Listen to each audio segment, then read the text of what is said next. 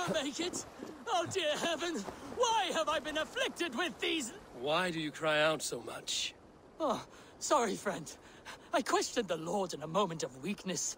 I crawled this far, but it seems I will never get to Clee Hill. Why go there?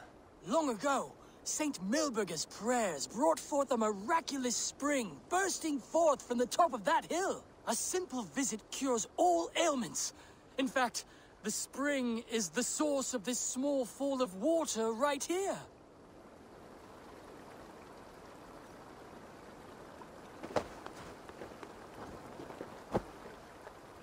What? Are you going to take me to Clee Hill Spring? Oh, thank you, stranger! It is a joyous day!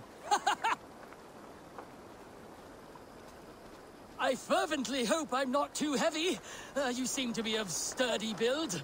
On to Clee Hill and St. Milburga's miraculous spring!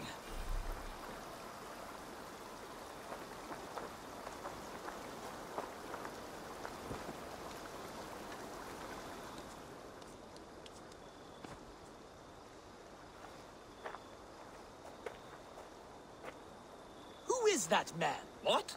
Uh, who said that? I'm right here before you. Do you mock me? I'm blind. Ah, uh, sincere apologies. I did not realize. I meet nothing but village idiots. Why do you speak from the ground? Stand up and greet me proper. Alas, my legs are afflicted. I cannot stand. What good are you? A heap on the ground.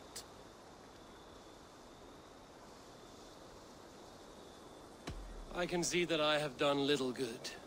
I'll leave you two here to argue. Good riddance, too. It's obvious this piddling stream is useless. I'm stuck, blind as a dead dog, with no one to guide me on my way.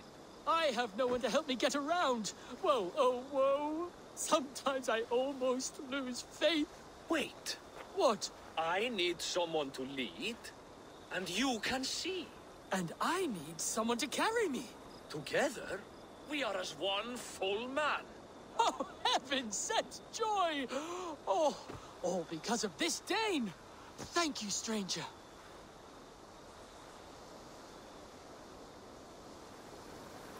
The monotony work a tangled weave.